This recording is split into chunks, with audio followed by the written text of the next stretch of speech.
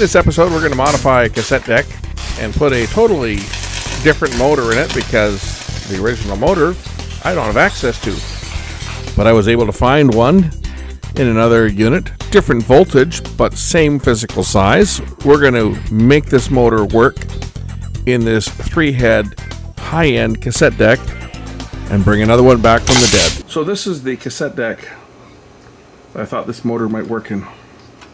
If you guys remember, this is the one that uh, someone got into and tried to adjust the speed and shoved the screwdriver all the way through it and ripped the motor apart. So I was thinking perhaps this motor might be workable in this chassis. So I took a chance and to say it's it's the wrong voltage, but I think we can probably mitigate that, not a problem. Just to drop the voltage down a bit for the motor. It's the correct speed and if it'll fit I'm sure I can get the pulley on there and make it work. So that's what we're going to attempt to do. This one here was one that was heading to the recycle bin. And it's a three head deck. So it'd be really nice if we could save this one.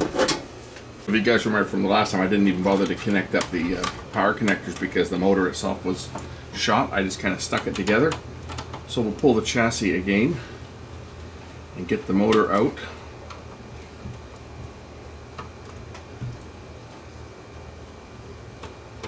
and see if this new one will will fit.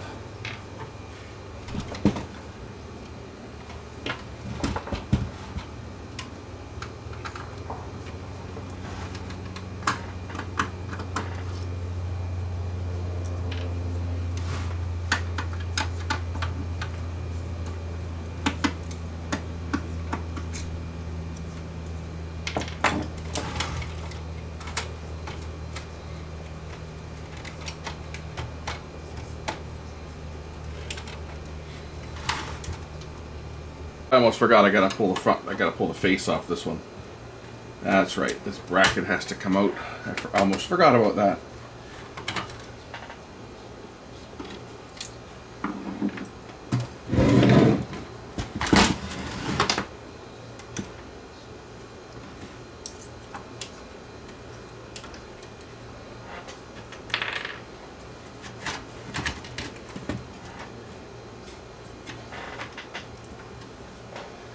these tabs come out. Clips pop out there.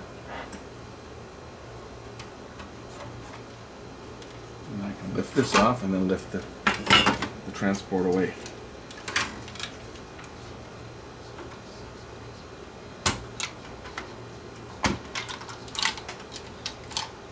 Okay. Now I can work on the, the uh, transport.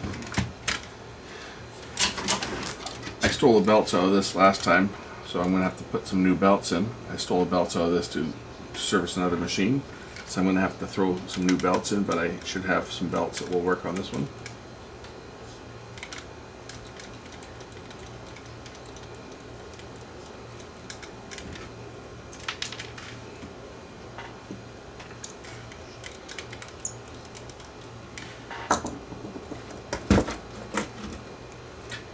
Guys happy.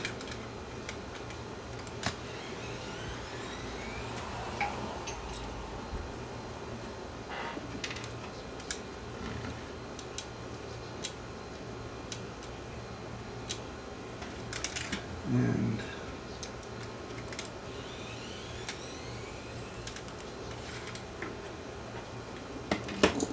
and this other one here is a long screw that we gotta lift out.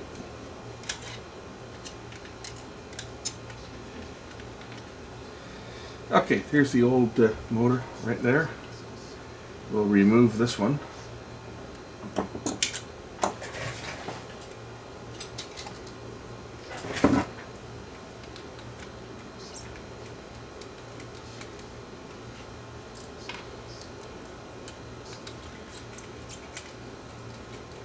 Looks like there's lots of, of uh, pre-drilled holes in this uh, chassis, so I should be able to uh, fit that other motor in. That- won't be a problem. That was always my concern is do the, do the holes line up, but I think we, it will work. It's the same physical size. I just have to change the pulley. Put on this brass pulley instead of the plastic pulley. I may have to heat this up a bit just to make it uh, fit. So we'll do that. We'll get the soldering iron on here, heat this, this uh, brass pulley up to expand it a bit. That way I can slide it down over top of the shaft here on the new motor. So what I do is I just take the soldering iron and just use that to heat the pulley up a bit. That'll expand the brass because brass expands at a, a faster rate than the steel shaft.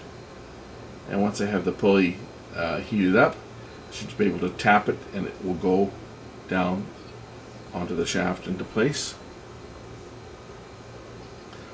That's warm now, so that should just be able to tap this on.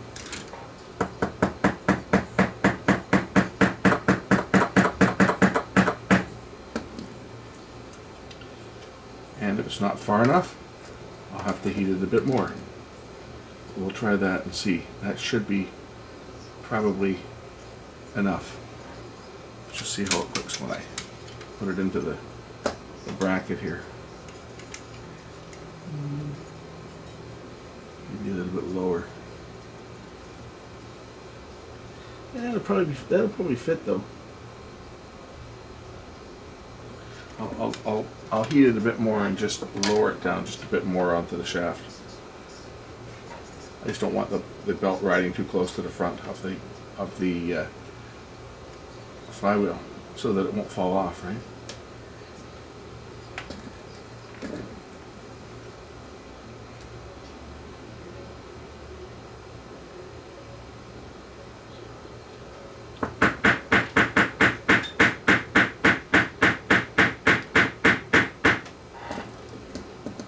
There, that's probably good enough.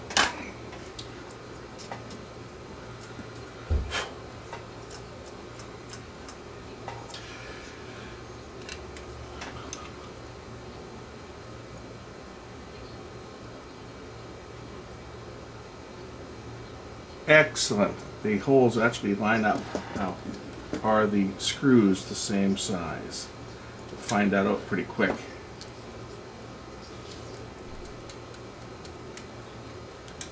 Looks like they are.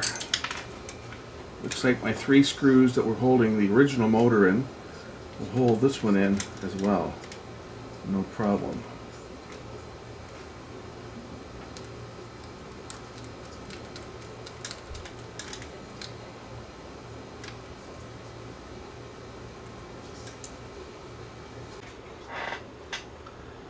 Time to thread the belt around the two pulleys.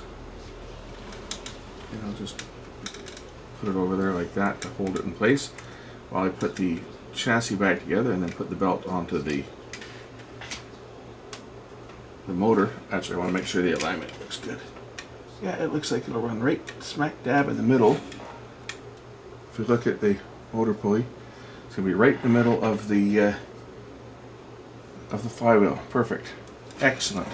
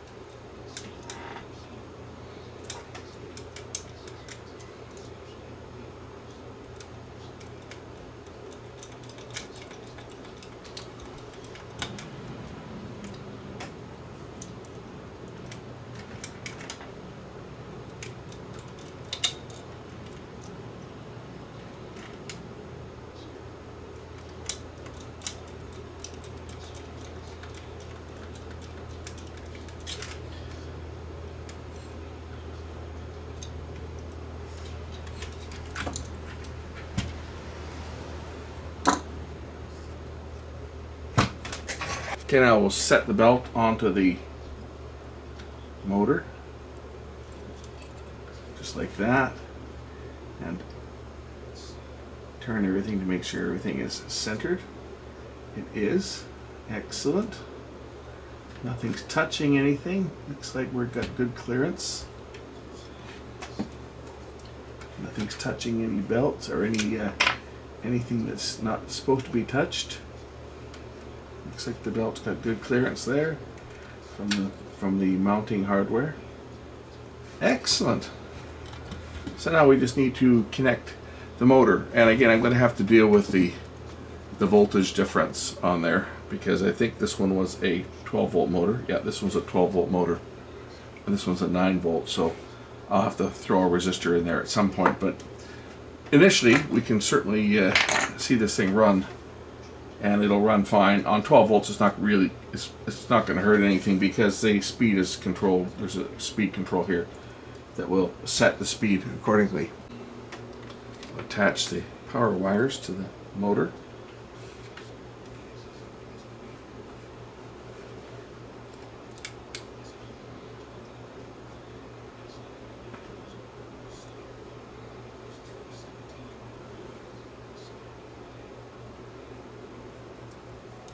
Got to fish my control belt back on as well, which is right down here.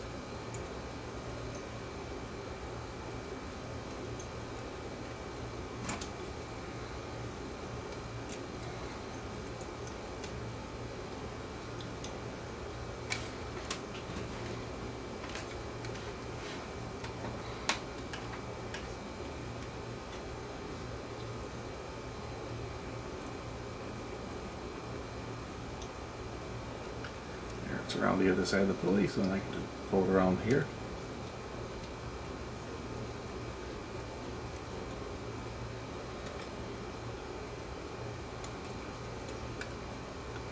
And get the belt on, like that.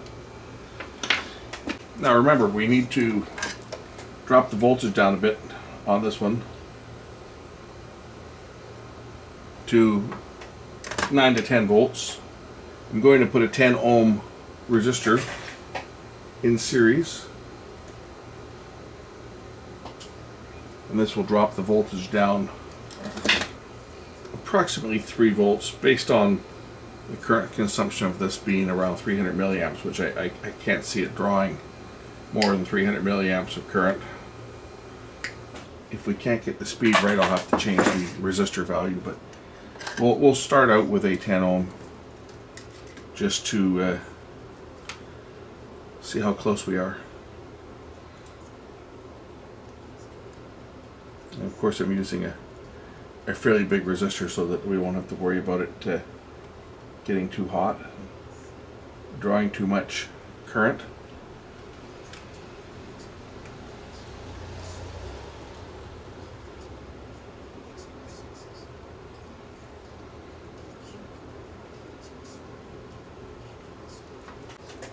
Chassis in place and put a couple screws in to hold it in, into uh, the base.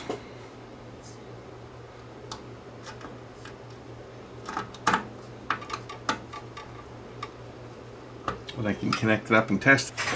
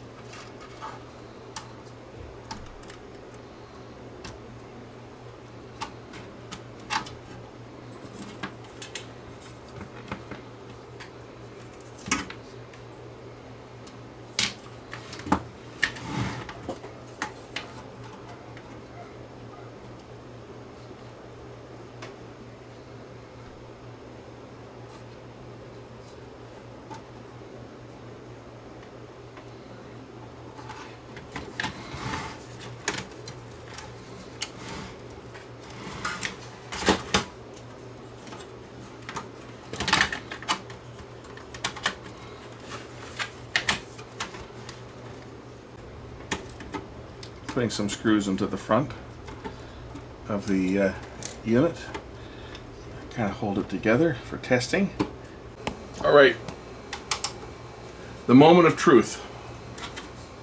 440 hertz tone. How close am I going to be without doing any adjustments? Am I going to be fast? Am I'm going to be slow. What do you think?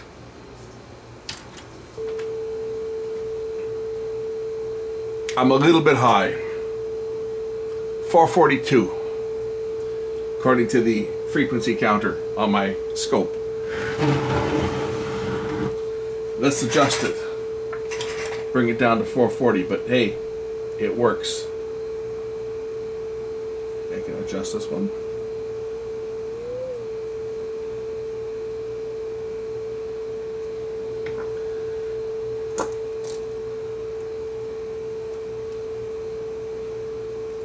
I just gotta find the right screwdriver. There we go.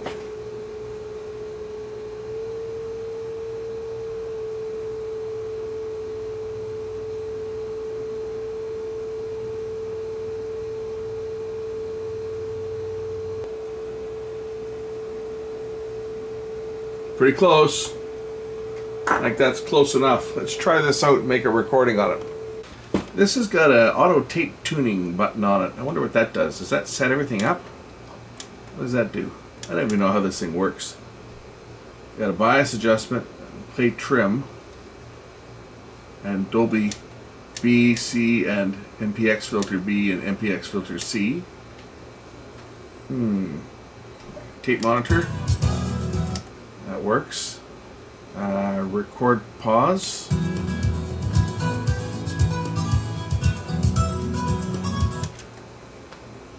This do? Tape tuning. What does tape tuning do for me? I guess it sets itself up for the tape, is what it does. Interesting. I've never had my hands on one of these before. We're going to uh, reset the counter here and I'll start a track up and we'll record it and uh, we'll play it back and see how it sounds. I'll just do this in, I don't know, Dolby B, C, what, what do you think I should do this in? Do it in Dolby C, I guess. Okay, um, record.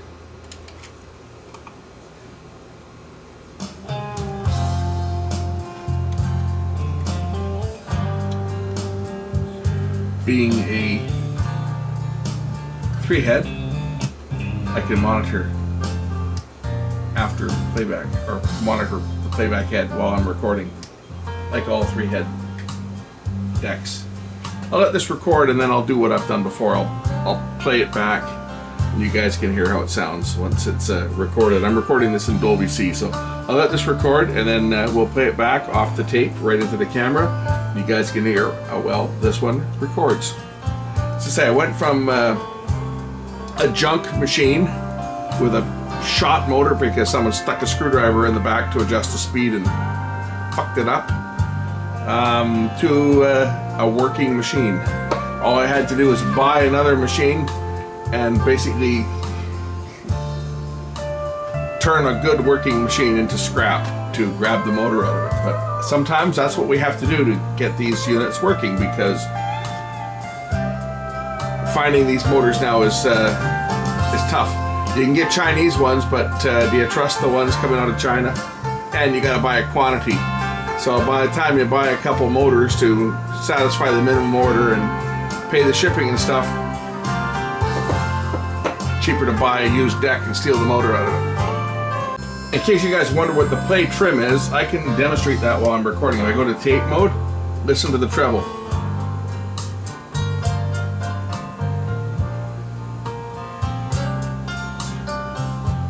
I'll do this on playback as well so you guys can hear it. I'm not playing with the bias or anything, I just got it set at, at, at zero.